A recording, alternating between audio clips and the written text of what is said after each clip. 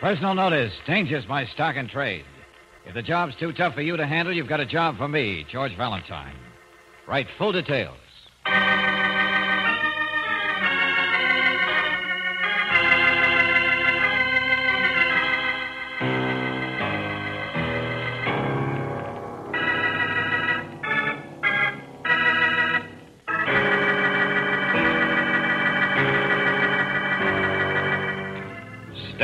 Oil Company of California invites you to Let George Do It.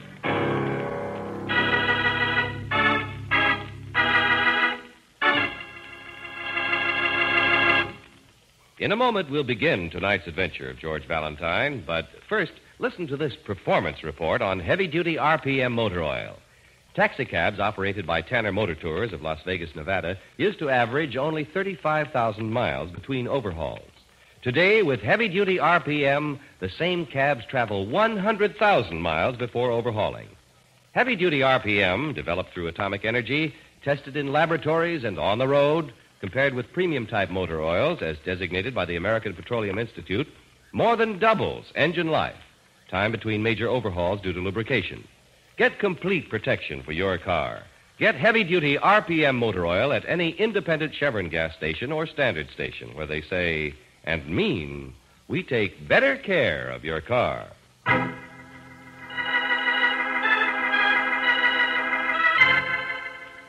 It happened on Friday, a transcribed adventure of George Valentine.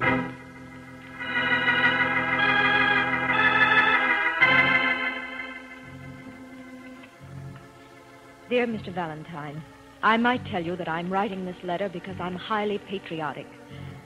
I might say I'm writing because I want to see my husband in more trouble than he's already in. Neither would be true. I happen to love my husband, and I want him brought back to the United States alive. If you and your assistant are prepared to take a rather lengthy trip, please call on me on receipt of this letter, and I will explain what cannot be put in writing. Yours sincerely, Lois Craig.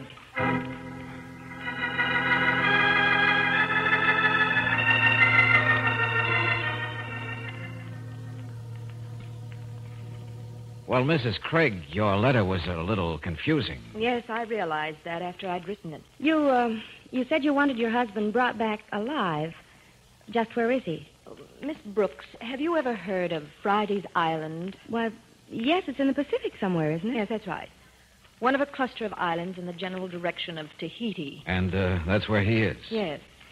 You see, Stanley and I were on a vacation by air in the South Pacific.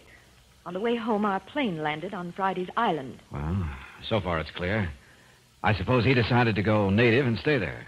Nothing quite as romantic as that, Mr. Valentine. No.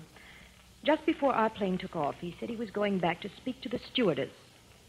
When we were in the air and he didn't come back, I investigated. And he wasn't aboard? He hadn't spoken to the stewardess, just stepped off the plane and disappeared.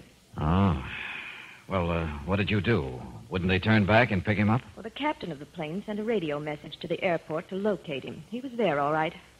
But he sent word back to me. What sort of word, Mrs. Craig? Just that I should continue on home, that he had some business to attend to on the island and would come on when he'd finished it. Hmm. What possible business could he have on a little Pacific island? Well, I have my suspicions. That's why I sent for you. Yeah. But uh, couldn't the authorities help you? If what I fear is true, I don't want the authorities to know about it. Mm-hmm. Well, uh, I wonder if you could clear that up a little. Uh, by the way, what's your husband's business? Well, he's a writer now. Well, wouldn't that explain his stay on the island, Mrs. Craig? Research, atmosphere, something? Not quite. You see, there's an organization, a very secret circle on Friday's Island, known only as the Group. Hmm. Sounds like a communist setup. That's exactly what it is. Stanley found out, I don't know how, that the group has practically completed plans for taking over the entire area. Well, that all sounds plain. Obviously, your husband knows what would make a great magazine, a newspaper story. I haven't told you one thing. Up until two months ago, my husband was in the Justice Department. He was relieved of his position because of what they term security reasons. Ah, oh, yeah, I see what you mean now, Mrs. Craig. But perhaps you're just jumping to conclusions. I'd hoped so myself, Mr. Valentine, until yesterday. A man named Kester, one of the big powers in the communist movement in this country, called me. What did he say? He wanted to know if Stanley had sent him any messages through me. I said he hadn't. He told me to expect some and to hold them for him. So it all boils down to one thing. You feel your husband has gone in with the communists down there, and that if he keeps up, he'll get in trouble. Yes, And you want me to make him see the light and come back to the States, is that right? yes.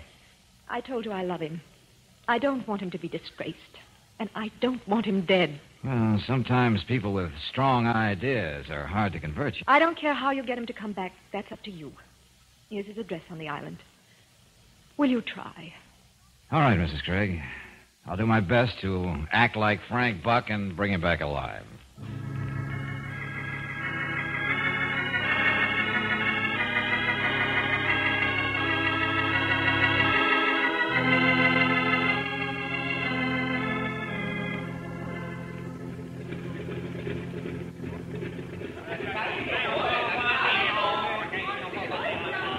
So this is Friday's Island, Brooksy. It's pretty, George. Blue skies and palm trees. Yeah, and slow-moving natives. Hard to believe any of these people could get excited enough to hatch up a commie plot. Mrs. Craig didn't say there were natives in the group. They could be foreigners. Yeah, probably are. Well, let's try and find the hotel and then call on Stanley Craig, huh? Eh, pardon, mister. Hmm? Oh, hello there. I hear you say you'd like to go to hotel. Well, yeah, yeah, that's right, if you'll direct us. Have carriage here. Happy take Mr. and Missy. Is it far? Uh, not far, just hot. Better you ride. Yes, let's, George. Okay, yeah, sure. Hop in, Brooksy. There you be. They'll send our baggage over later, I suppose, huh? Oh, yes, oh, yes.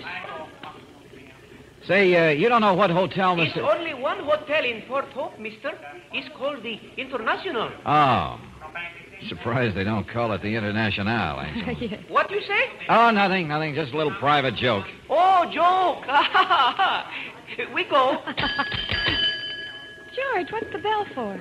People know we come. Make pretty sound. Oh, yeah. Say, uh, boy. Uh, name is Leon. Leon Singh at your service. Okay, Leon. Say, tell me, is this address far from the hotel? Let's see. Here it is. 17 Bank Street. Uh, 17 Bank Street? Yeah, that's right. Not far. Down by waterfront.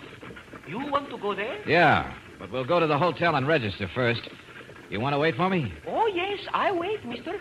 I see you get to Bank Street very safe.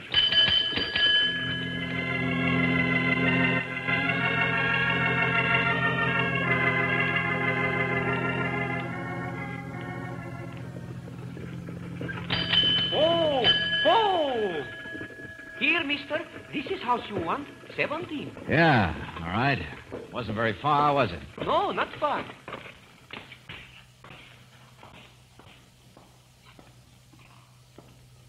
I make knock on door. Well, look, I don't need all this service. Well, thanks anyway. You know person who live here, maybe? No, not yet. Yes, what? Oh, hello. I'm looking for Stanley Craig. Mr. Craig is not in. Oh, uh, that's too bad. I have a message for him. Ah, well, uh, perhaps I can take it. Uh, step in, Mr. Valentine. Leon will wait. Where is the young lady? Hmm? Oh, hey, now, wait a minute. You know who I am. Certainly I know. You and Miss Brooks arrived on the plane at 2 o'clock and registered at the International. Uh, yeah. Well, uh, who are you? Graniff is my name, Nicholas Graniff. Now, about the message for Mr. Craig. Who is it from? Why, uh, uh, it's from Kester, if that's any of your business. Ah, then it is very much my business. Where is it? Now, look, Buster, I'm delivering the message to Mr. Craig and no one else. It is important that I have it. If you do not wish to cooperate, uh, perhaps we will have to try other methods. Oh, I see. What's the idea of the gun? It is just to convince you. Uh huh. Well, it wouldn't do you much good to carry through on that, especially since Miss Brooks knows just where I am and you don't know where the message is. Nicholas, please say the. In the future, I would thank you to knock before coming in, Anna. Who is this, Nicholas? What are you doing with the gun? This is Mr. Valentine. He's a messenger from our friend Kester in the States. Oh? What does he say? Well, the gentleman is uh, reticent about delivering the message, Anna. He insists on seeing Mr. Craig. Now, look, Buster, fun is fun. You know we're all in this together. I'm just following orders. Yes, yes, just following orders. Of course, Valentine. You're right. I admire your devotion to orders. Okay, thanks.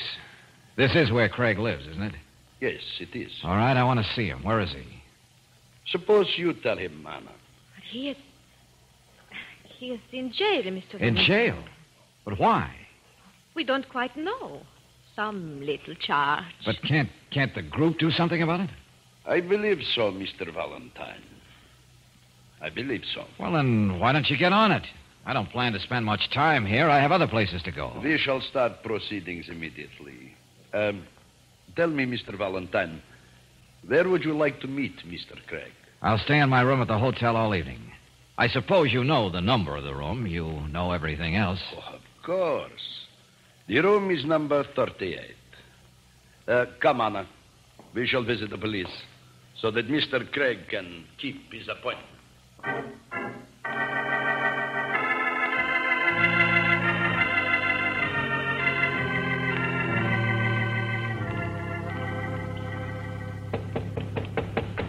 Just a minute.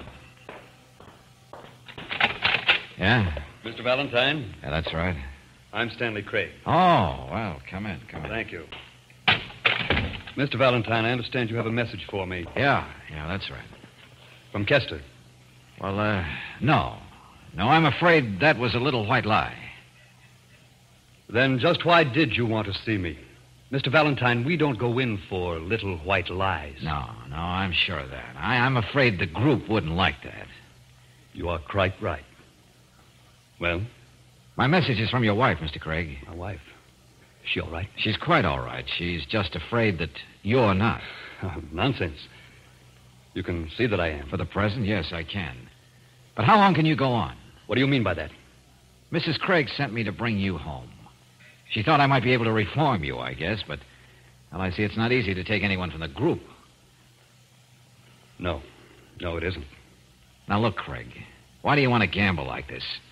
Why don't you come home to your wife, forget the whole thing? I can't, Valentine. I'm in too deep. I've got to see it through. Tell her that. Well, I don't know what more I can say. Uh, there are cigarettes in this box? Yeah, yeah, go ahead, help yourself. Thanks, I will. You have a light? Yeah, sure, yeah. Thanks. Valentine, I had already guessed your mission. Now listen to me. I'm listening. I put a paper under the cigarettes in that box.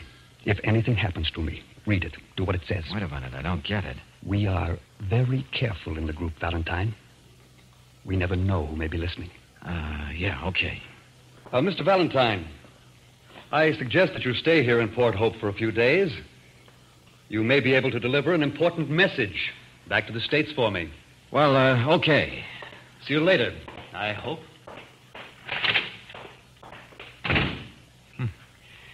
Well, you can't always win, I suppose.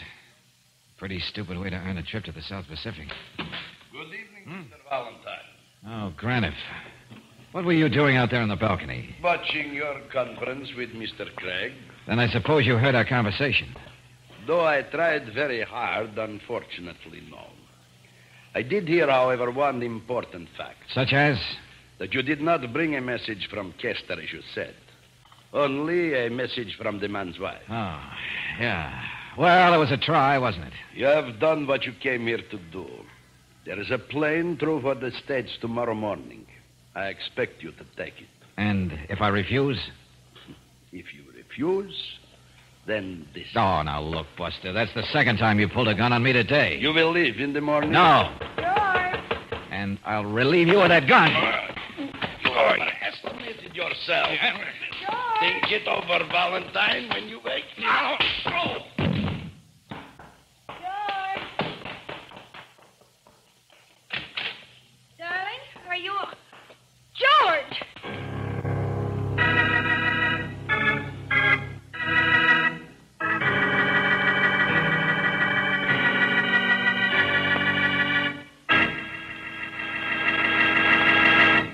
Just a moment, we'll return to tonight's adventure of George Valentine. But first, a question. What happens when you put your foot down? On the accelerator. Do you feel a surge of power? Do you sail forward smoothly and effortlessly? Or has a one feature gasoline got your car acting old before its time? Remember, the feel behind the wheel depends a lot on what's in the tank. So if habit has you buying a one feature gas that's robbing you of real driving pleasure, then shift over now to the gasoline with all eight Chevron Supreme. Any gasoline can be made to stress one feature at the expense of others. Chevron Supreme gasoline gives you not one, not two, but all eight high performance qualities in correct balance full power, quick starting, fast warm up, anti knock, vapor lock prevention, area blending, smooth acceleration, and economy mileage are all yours in every gallon of Chevron Supreme. Stop in soon and say, fill her up with Chevron Supreme gasoline at any standard station or independent Chevron gas station where they say and mean we take better care of your car.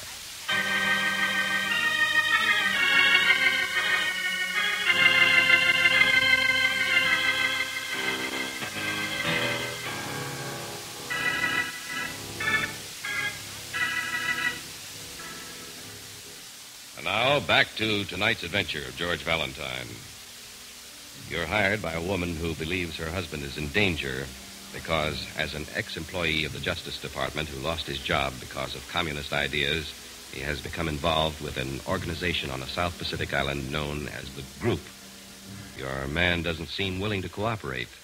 And when he's left your hotel room, another character appears to order you off the island and impress his order with a knockout punch. If your name is George Valentine, you come to with a familiar voice in your ear. George. George, darling, what happened? Oh, Brooksy. Where did you come from? Did Craig do this to you, darling? I heard voices. He- hmm. Oh, no, no, no. Craig didn't do it. It was that goon boy. Will you please make sense, George? Well, I'm trying to, Angela. I'm trying to. I should have used my right instead of my. Oh, hey, wait a minute. Will you please lie still, George? If you get up, A some- cigarette box. I'll get you a cigarette. I don't want just- a cigarette. Hey, throw the catch on that French door to the balcony, Angel. Well, all right, but Yeah, yeah, sure. At least he didn't get this. Pull the drapes, will you, Brooksy? all right, George. That's better. Okay, now let's see. Don't you think that Hey, wait a minute, wait a minute. Listen to this. If anything should happen to me, please take possession of very important information hidden in my room. The instruction will be sufficient to guide you in its use. Use great caution. Graniff and the others will try to take it from you. I still hope to see you when the job is done, Craig. Well, what does that mean? Ah, that's what I'm wondering. If it's what I think it is, Mrs. Craig had real reason for worrying about her husband. I don't think I quite follow you, George. That's probably because I don't quite follow myself, I guess. But it's just a hunch. Come on, let's get out of here. Darling, where are we going? To the airport. But I haven't packed Don't yet. have to this trip. I just want a little information. Information about what? Stanley Craig. I don't know who to trust in this place, but I think we'll take a chance on the boys at the airline.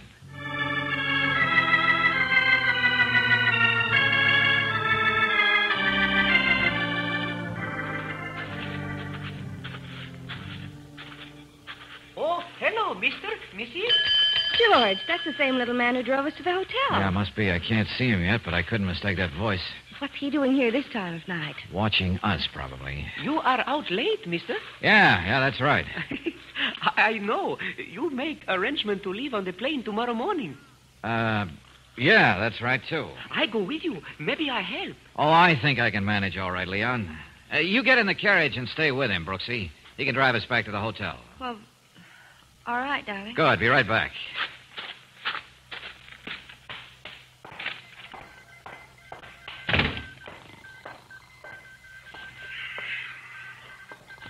Hello there. What? Wake up, wake up. Come on, will you, old man? Uh, yeah, sure, sure. What is it? You the radio operator at this airport? Uh, uh, radio? Uh, yeah, yeah, sure. Radio operator, ticket agent. All right, all right. I want to send a radiogram. I want you to send it for me. Oh, now, just a minute, Bud. This is an airport. Official business only. Now, look, there's an office in the hotel. Suppose if you don't wanna- trust anybody to send a very important message. Yeah? How important? Enough to affect the lives of a lot of people. Oh? All right, here you are. It's all written out for you. Think you can get it through for me? Department of Justice, Washington, D.C. That's right. Will you do it? Uh, sure. Good. And when you get an answer back, hang on to it until I come back for it, will you? Hey. This is dynamite, Mr. Valentine. You'll find the signature at the bottom. And here's something for your trouble. Oh, no, no, no, no, sir. I, I wouldn't take that. I'll buy yourself a couple of hula skirts to send to your girl. I'll be back in a few hours, and let's hope you've got an answer.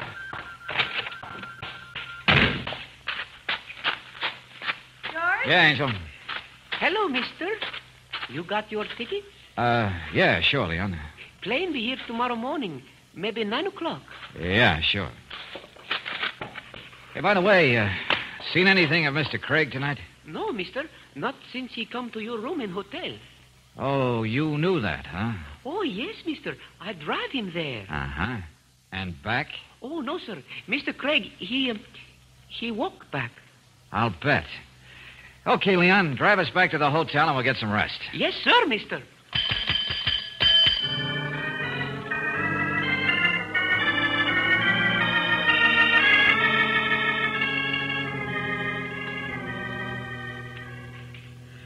Oh, George, Yeah, Angel?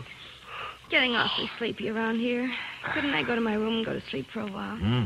Oh, sure, sure. I'm sorry. Just because I have to sit up doesn't mean that we both have to. But why do you have to? Well, I'm going back down to the airport pretty soon. It's been several hours. The Washington offices would have been open quite a while. I mean, an answer to your radio? That's right. Well, you go ahead, and I'll just. Wait a minute. Yeah, who is it? Jim Riley, Mr. Valentine, from the airport. Oh, good. Okay, wait a second. Hi, Mr. Valentine. Hi. I thought I'd better bring this to you. Sounded important. Well, good. Thanks, Jim. That's all right. Looks like you really did hit dynamite. Well, got to get back to the radio room. So long. Thanks. So long, Jim. Uh huh. What is it, George? Dynamite, Angel, like the man said. Now I'm going to do a little snooping around Stanley Craig's room. You mean we are. Oh, everybody wants to get in the act. Okay, Angel, let's go.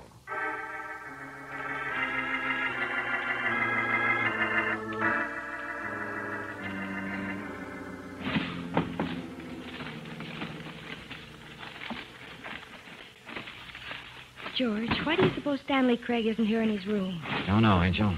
Unless he's unable to be. By reason of death.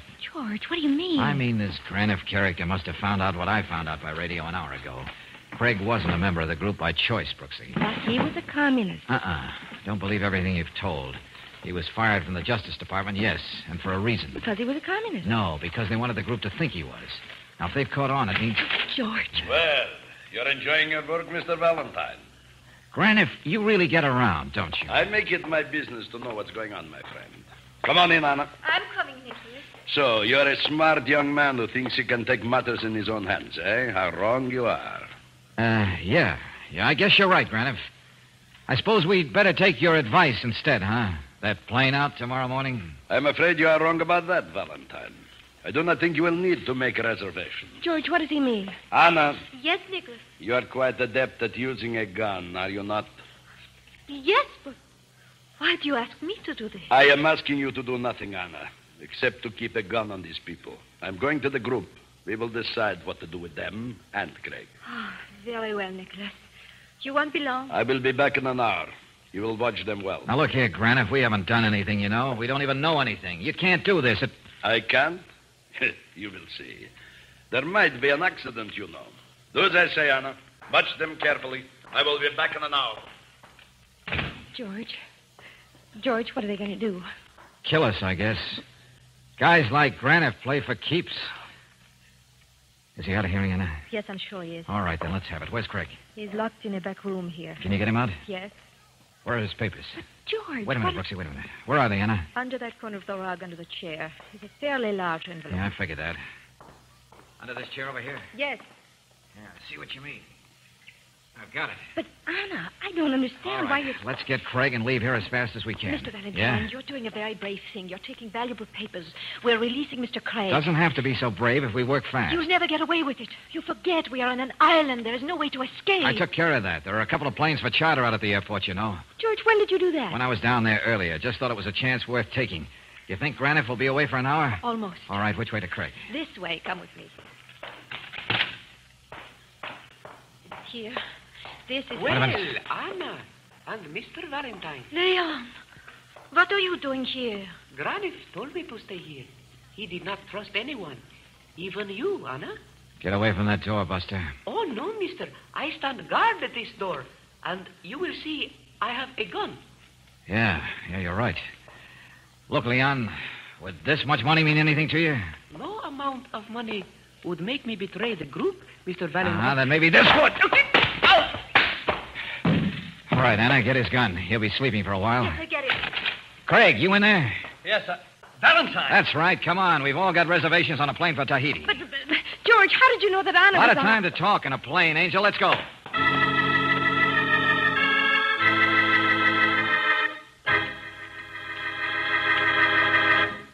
Here's the easiest way I know to keep your tires safe.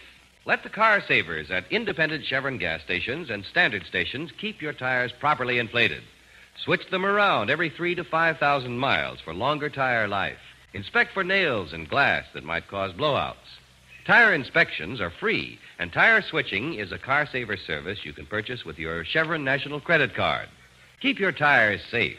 Stop in soon for a complete car saver tire checkup at any independent Chevron gas station or standard station where they say and mean we take better care of your car.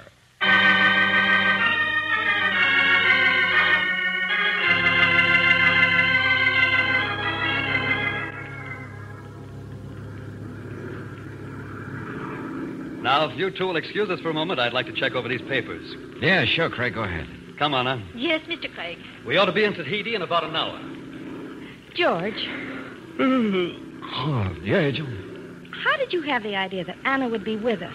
Oh, very simple, very simple. She winked at me. She did. Mm-hmm. The first time I saw her. I guess she knew I was a phony all along. Oh, well.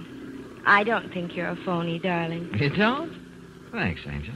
You could wink at me, couldn't you? Hmm? Oh, sure. How's this? I like it. Okay, I'll do it again tomorrow. Now just sit back and relax. We've had a very busy day. Oh, George!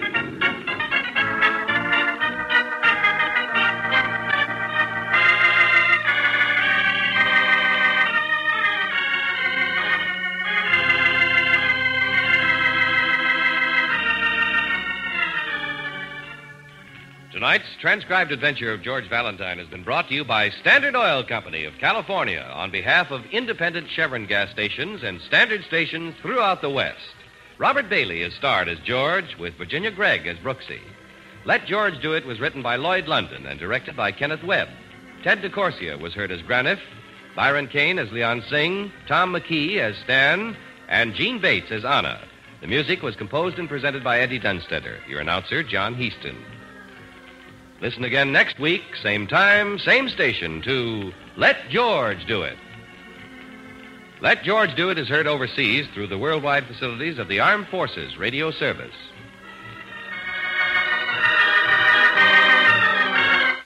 This is the Mutual Broadcasting System.